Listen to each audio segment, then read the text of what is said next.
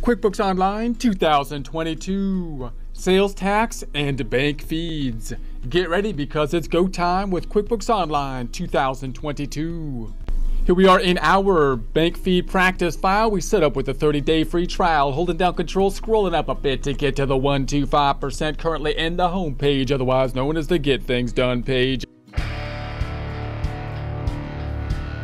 In the business view as compared to the accounting view. Changing to the accounting view is something you can do by going to the cog up top switch to accountant view down below. We will be toggling back and forth between the two views either here or by jumping to the sample company file currently in the accounting view. Gonna open up a couple tabs to put reports in by right clicking up the tab on top duplicating it back to the tab to the left, right clicking again, and duplicating it again. As that is thinking, let's see where the reports are located over here in the accounting view, which is on the left hand side under the reports. Going back on over to the sample company to look at this is the bank feed practice file, in other words, to look at the second tab to find the reports which are located in the business view, which are going to be under the reports, closing the hamburger, open up the balance sheet, one of the major financial statement reports. The ranges, they are changing from 010121 to 123121 and run. And then we're going to go to the tab to the right. We're going to go into the business overview again, reports, closing the ham boogie, going down to the profit and loss, the other major financial statement report, the P&L, the income statement. In other words, 010121 to 123121 for the range and run. There we have those two. We're going to go back then to the first tab to take a look at where the bank feeds are at in the business view. They're in the bookkeeping area down below. They're in the transactions up top in the banking. If you happen to be in the accounting view, then they would be under the banking on the left hand side, banking transactions then up top. So I'm going to close up the hamburger. These are the bank feeds that we pulled in. This is what we would be seeing uh, if we were dealing with uh, the bank feeds and we're going to look at the sales tax transactions related to them. So this is what would actually have cleared the bank. They're in bank feed limbo. We'd have to add them from here to go into our creation of the financial statements. Now, the sales tax, I'm going to look at this from the perspective of the United States. Uh, you might have similar taxes that you're going to have similar ways to deal with. There's no really new tax under the sun, they've all been done. It's just which one is your particular government going to be imposing on you, and then you can try to see how you're going to fit that into, in essence, your accounting system.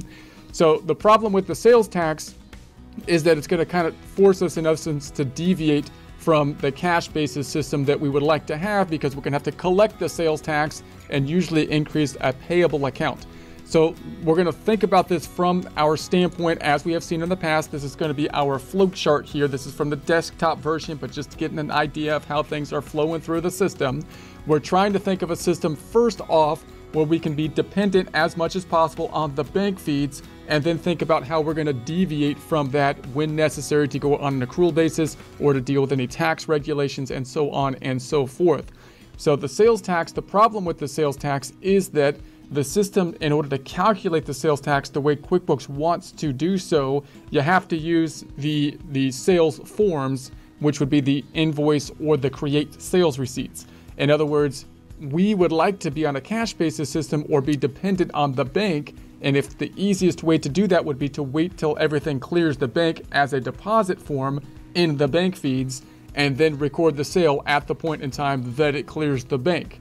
But if I do that, then I'm not recording the sales tax as they like to be recorded within the system or how the system is designed to record the sales tax because it should be recorded at the point of sale with the create sales receipt and uh, the create or the create invoice type of form.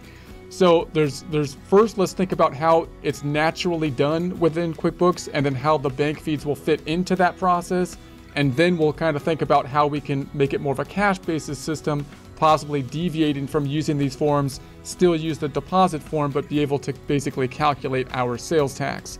So let's first think about how sales tax works in, in QuickBooks if we did the full service system. To do that, I'm going to duplicate this tab up top again, right click on the tab up top, duplicate again.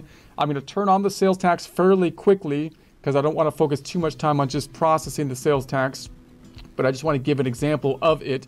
When you think about turning on sales tax, uh, there's, there's three things you need to think about. One is just turning on the tax, which is often the most difficult. You need to know who's going to be the, the entity taxing you. In the United States, that's more difficult than some other taxes because it's a state and local tax as opposed to a federal tax. And therefore, that can be a little bit confusing, especially if you're dealing with multiple tax agencies charging sales tax or you're dealing uh, with multiple states that you make sales in. So you want to be careful with that. And then, two, once you've turned it on, you need to look at the items to determine which items are taxable. And then, three, probably the least important, is that you might have some customers that are exempt from the taxes, and you want to make sure that if they're exempt, you record that as you enter the sales tax for those particular customers because it'll be a deviation from the standard, which is to be a taxable kind of entity. Okay, so the sales tax, let's first think about turning on the taxes. So if I went to the taxes tab, on the left hand side. Then we've got our taxes up top. This is in the business view. If you were in the accounting view, you've got your taxes tab on the left hand side here as well.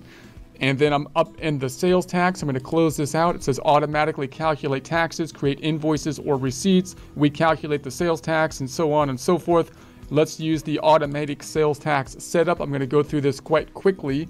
In order to do so, you're going to need an address here. I'm, to use California, but I'm going to try to make it as generic as possible because, you know, the same kind of idea will apply anywhere, depend, but the tax rates will be different and so on. So I'm going to choose an address. We need the address. I'm going to choose uh, Beverly Hills 90210. This is like a $40 million house I'm thinking about buying. just kidding. but if you're in the market for it, there, there it is. But in any case, that's going to be the location. We need some kind of location so it can uh, help us to calculate the sales tax for that location. And then we're going to say next, tell us more about your taxes. We calculate sales tax based on what you sell and where you sell it. If you sell at multiple locations, we calculate the correct sales tax for each one. That's one of the complications with the sales tax is that you have multiple locations. that could be different. I'm going to make it as easy as possible here for our example. Do you need to collect sales taxes outside of California? I'm going to say no. So we'll just say just California sales tax. And so then we're going to say next on that one. Automatic sales tax is all set. So we have set it up. So now I can create an invoice. I'm going to close this out now. I'm going to close this out. It looks like it has been set up for us. So here's the information that they gave for us with regards to the sales tax. Now, the thing with the sales tax you got to be aware of is that the tax is theoretically not on you, the business owner. It's going to be on the the person who is making the purchase, the purchaser. You're just being forced to be the collection agency by whoever the tax agency is. So the idea then is that you're going to up your price by whatever the sales tax is, collecting it from the customer, imposing the tax on the customer. Then you're going to take that money and you're going to pay it to the government on behalf, in essence, of the customer, is generally the idea. That means when we make sales, we're going to be collecting the sales tax from the customers, increasing generally a liability account that we will then have to pay. So we're gonna we're gonna have to pay it at some future point. The question then is, well, how often uh, is the agency requiring you to pay it? That may differ from state to state and by how much sales tax you are collecting. In other words, if you have substantial amount of sales, the government probably wants to get paid sooner after you make the sale. If you have not that many sales, then they may have a less less of a time frame on which you need to pay the sales tax. So we've got monthly, quarterly, or yearly. I'm just going to say monthly here for the sales tax. And this is the schedule for this current location. It could be different by by where you are at. So I'm just going to say, okay, let's save that. And so sales tax is set up. So there we have it there. I'm going to close. I'm going to open up the hamburger. Number two, what you need to think about are what you are selling. So in the business view, we got the get paid and the pay area. And we're going to go into the products and services. If you were in the business view, it would be under the sales area and then the product and services up top. So now we need to set up what we are selling. Now in the United States, office, oftentimes it's going to be like an inventory type of item which is one which you're going to be charging sales tax for. We'll talk about tracking inventory and whatnot. We talked about a little bit in the past. We'll think about that more in the future. I'm not going to get into the inventory tracking. I'm just going to have an item that is subject to sales tax. So what I'm going to do is add an item. These are the things that are going to show up on the invoices and the sales receipts. It's not going to be inventory that would be tracking inventory, but a non-inventory, uh, which means I would like to have it recognize it possibly as a physical thing, possibly subject to sales tax, but I'm not going to track it with a perpetual inventory system. So I'm going to say item sales tax. So it's just going to be an item subject to sales tax is what I'm trying to say there. And then description, I'm going to have the same thing. The sales price, I'm going to say we sell it for $500. The income account, I'm going to say is uh, not an, a service item. Yeah, we'll keep it there. We'll keep it at service item. So I'll keep it there. And then the sales tax, is it taxable? So I'm going to edit the sales tax and go into it. Now you could choose the category and this will be useful to basically make sure you get the correct sales tax uh, calculation for it. So that'll get into detail in the weeds here. QuickBooks trying to help you out to make sure that you're properly applying the sales tax to what you're selling. But I'm going to go down here and just say that it is a taxable item with the standard rate. So standard tax should be applied to it. And then I purchase information. I'm not going to have anything there. We don't have any purchasing side. I'm not going to be talking about inventory information for it. So I'm going to go ahead and save it and close it. So now we have it set up. So the sales tax item is there. Now the third thing that you would want to think about is to see if any customers would be exempt from that. In other words, sales tax is on. Anybody that purchases this item is subject to sales tax and it will be calculated when you make an invoice or sales receipt generally unless you have a customer which you said is exempt from sales tax for whatever reason, like they're the government or something like that so they don't need to pay sales tax. So we could then go, if I went into the customers area, get paid and paid area, and the customer area, and if I was to add a customer that was exempt from sales tax, I can then, for example, go into, let's say, customer one here, and I can edit that information, and I can go into my tax info and say this customer is tax exempt. When I say tax exempt, I mean exempt from sales tax. Okay, so that's the general idea. So now sales tax is set up. I, I can't really wait till something clears the bank, though, to calculate the sales tax. I got to create an invoice or sales receipt so it will properly calculate the sales tax and tax the customer if I'm using it in the way that QuickBooks wants us to use it. So I'm going to hit the hamburger up top and let's, for example, create an invoice.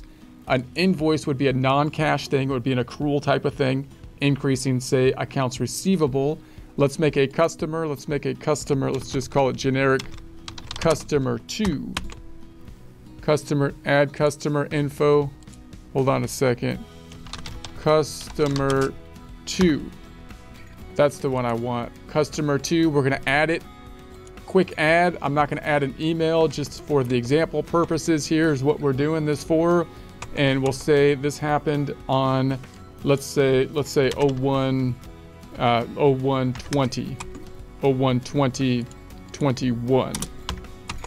Okay, and then we're gonna select our item down here that we just we just created, and this is us using the items which we're not using when we just record sales with a deposit. This is the thing we're missing, or one of them, when we try to just be dependent on the bank feeds.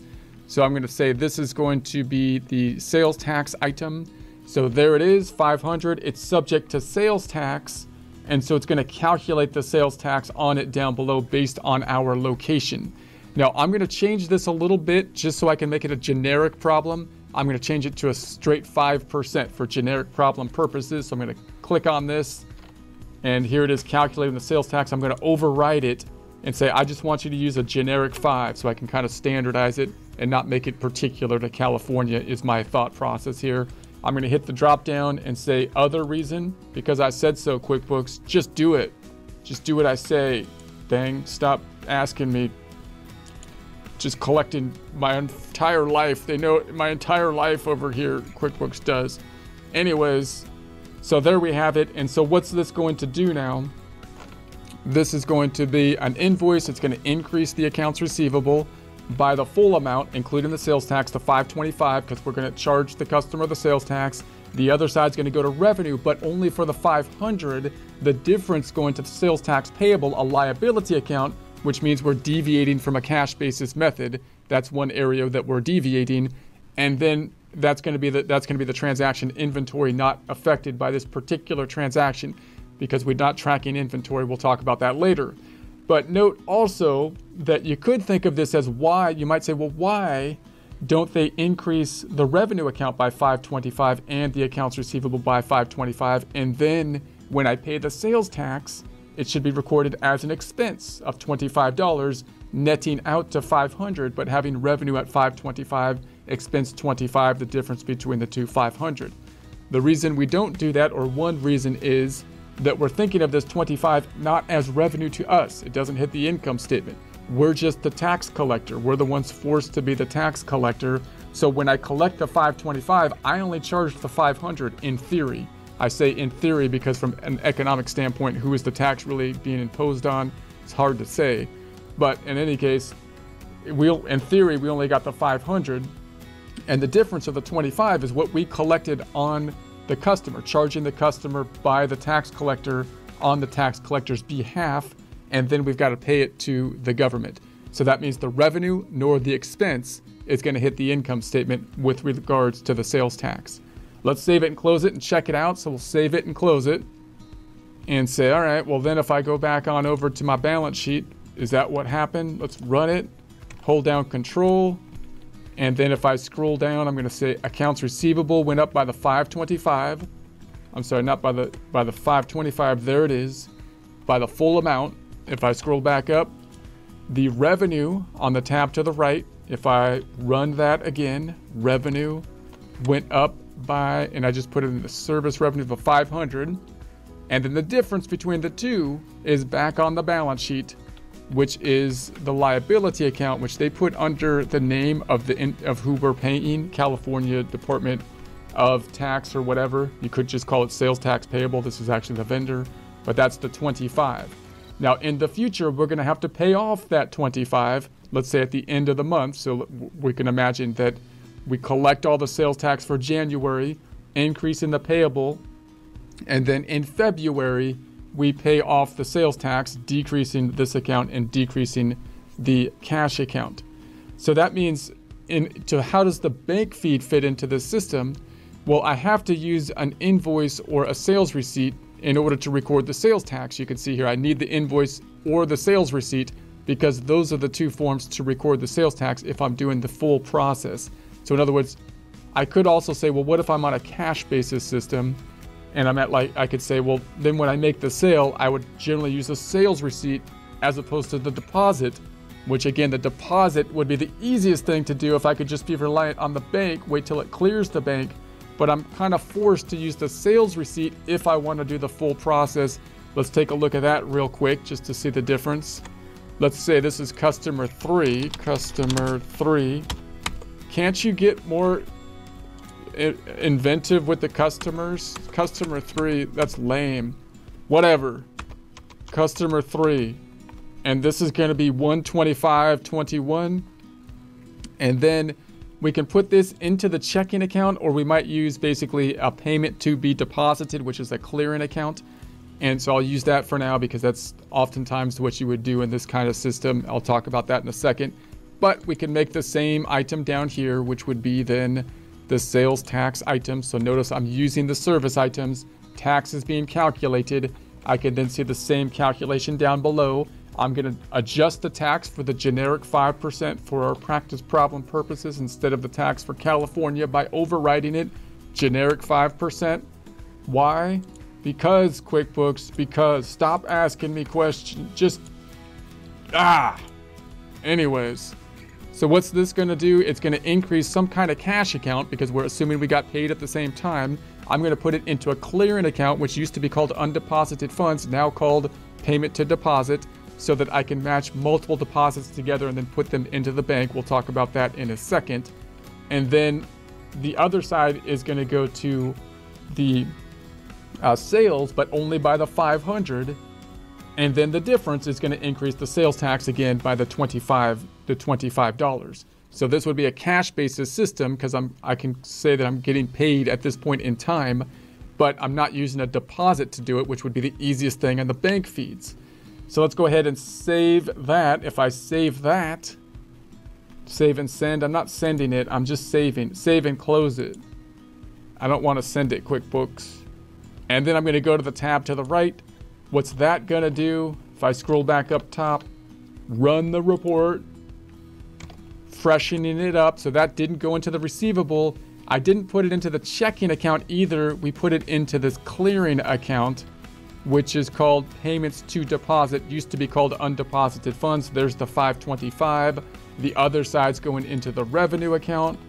If I go to the income statement and run it again, we've got the revenue account is now at five, is 1,500 plus the 500 for the two things that we did invoice and the sales receipt. The difference is going back to the balance sheet for the sales tax payable, the sales tax payable that we owe down here, which is under the California Department of blah, blah, blah, 25 and 25 adding up to the 50. Okay, so the, in order to match this up to the bank feeds, then we could, if I go back to my flow chart, let's go to the flow chart. We've entered an invoice and a sales receipt.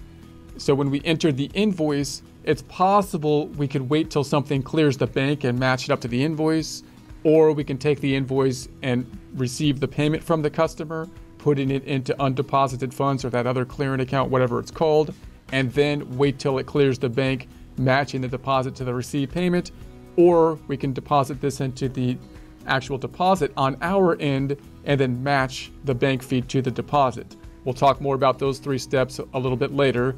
But, or if I created the sales receipt, I could take the bank feed as it clears the bank and match it up to the, the sales receipt, in essence, making the deposit. Or I could take this sales receipt and deposit it and then match the bank feed up to the deposit. We'll talk more about that later, uh, but those three steps and how the bank feeds can fit into those steps or however many steps that was. Let's go ahead and, and, deposit it through the full system as we normally would, and then we'll talk about how we can maybe set up the sales tax so that we can be dependent on the deposit instead of creating an invoice or the sales receipt. Is there any workaround where I can basically be a cash basis system and not have to use these two forms? In other words, so if I go back on over, normally if I if I go to the second tab here, we'd have to say we would receive the payment now Let's go. If I had the invoice, then I would receive the payment. So I'd receive the payment from customer, customer number two is saying, we're saying they're going to pay us now. Let's say it happened on the 26th. I won't put a method. I'll just keep it there. And it's going to go into, I'm going to put this into the payment to deposit item here. Payment to deposit, which is the clearing account again. Used to be called undeposited funds and then I'm going to check off the invoice assuming that they paid us the 525. This decreases accounts receivable, puts it into the clearing account of undeposited funds. I'm going to save and close that. And then if I go to my my balance sheet and run it, the accounts receivable account went back down. If I drill down on the accounts receivable account, then I see the 525 went back down, going back up, then the other side did not go into the checking account yet, but rather went into the undeposited funds, or now known as payments to deposit, which has this 1050 in it. So if I go into that item, we've got the 1050 in it from the payment that we received and the sales receipt. Then we can take that amount and deposit it into the bank. So we could do that by then going to the tab to the right. Now notice that if I have to combine if I have to combine these two together and deposit them as one lump sum, then I, I kind of would, might want to use this system because then when they clear the bank, I'll see it deposit as that one lump sum. So I'm going to combine those together. Let's see what that looks like. If I go to the first tab and I hit the plus button, I'm not using the bank feeds. I'm just going to make the deposit with the bank deposit and then match it out to the bank feeds. So I'd have to actually make the deposit here. I'm going to combine these two together as if we're going to deposit them at one time. This is going to be going into, let's make this as 127, the checking account. This goes into our checking account. The other side is going to decrease the undeposited funds when it goes into the checking account. It's not going to do so with two separate transactions, but with one, 1050. We're expecting that that's what's going to clear the bank, which we will see in the bank feeds. And so after we record this, the bank feeds will match out. We're going to use the bank feeds to double check, help out with the reconciliation, tying out to the 1050. So I'll save and close that, and save and close that, and I go back to the first tab. Finally, we hit the checking account with this amount. Checking account now would have that 1050 in it. 1050 that we did on, I don't, I don't know when we did that. There it is. There it is. And then we would have to wait till that clears the bank on the deposits from the bank feeds and match it out, helping us out with the bank reconciliation. So in that case, the, the bank feeds wouldn't be, we wouldn't be reliant on the bank feeds. Now you might say, okay, well, what if, how can I do this without, without basically using these two forms? I just want to, I just want to make sales. I just want to make sales, including the sales tax, pay my sales tax obligation, but then just wait till everything clears the bank and just record everything that clears the bank as revenue. Well, you could say, okay, that just means maybe I'll just increase the sales tax into my calculation. So I'll say, so let's pull, let's pull out a trusty Excel worksheet, you'd have to think on the front end, you'd have to say, okay, what am I selling my stuff for and include the sales tax in the sales price. So you'd say, okay, let's format this cells and let's say that this is going to be, I'm going to make this currency bracketed and take off the decimals. So that means if I sold something for $500, just using 500 as a generic, so sales was 500 I'm going to make the whole thing bold so it might be easier to see. If sales was 500 and the sales tax rate is 0.05 or 5%, I'm going to make that a percent number group, percentifying it and underline it. That means that the sales tax on the sale is going to be equal to the 500 times the 5%. So that means that the amount that we charge to the customer, customer, cause I spelled it wrong. I'm gonna leave it like that. Hope it doesn't bother anybody too much. Would be then equal to the 500 plus the 25. So we would be charging the, the customer 525 then when we when we charge it. So what we'd want to do is when we make the sale actually include the 525 in the sales price. So you can also think about it this way. We could say, well, if the sales was 500 and I'm going to say sales tax, sales plus sales tax rate, which would be equal to 100% plus the 0.05, making that a percent number group, percentifying it, underline it at 105%. So the amount we charge to the customer, 500 times 105. So you're going to create your basically rate and then you're just going to say, well, what do I have to charge if I include the sales tax and put that in place at the 525? And then every time you make a sale, you could wait till it clears the bank and record it then into your system as it clears the bank. And that would be, of course, an increase to the checking account, would increase every time you make the sale and it clears the bank. And, and then the other side would be going to sales.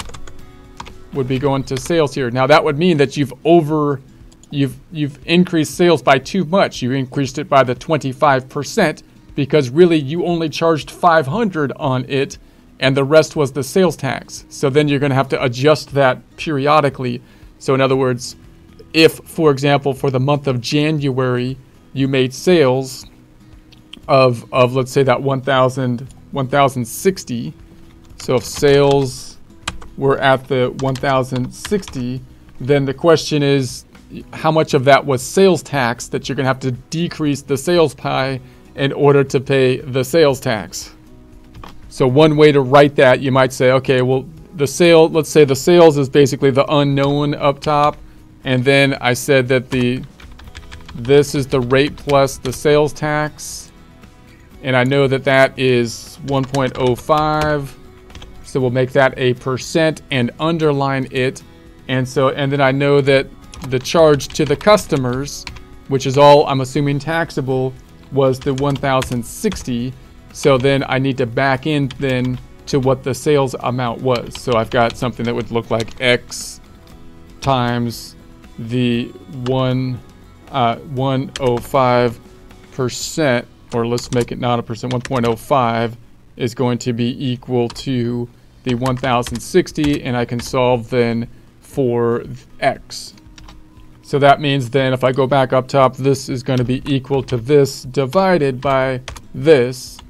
And I can double check my number this way and say if, if it was this times this, there, there it would be.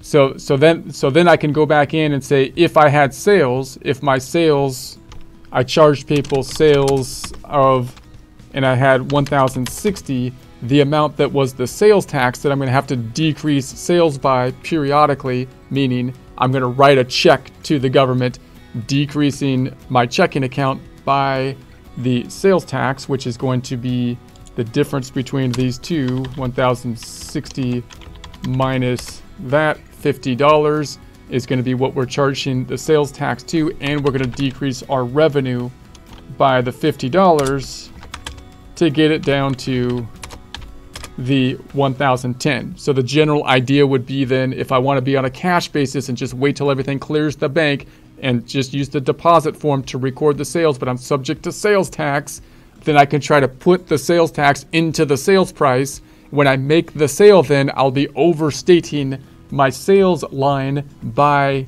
the sales tax, and then I'll take my total at the end of the period in sales, which is including sales tax, is too high by the sales tax, and I'll back out the sales tax portion, writing a check, lowering or making a payment, lowering then the checking account by the amount of the sales tax.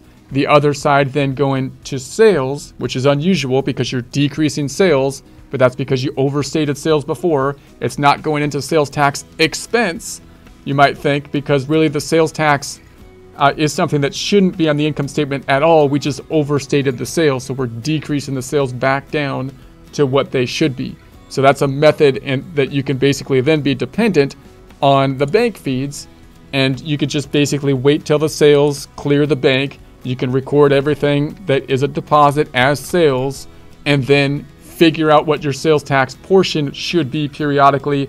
Write the check for that and the other side and, and then when it clears the bank when you see that transaction clear the bank you would be decreasing the checking account and the other side would be decreasing sales bringing sales back down to the appropriate uh, the appropriate level so that's one method you might try to put in place if again if you want to be dependent on just the bank feeds.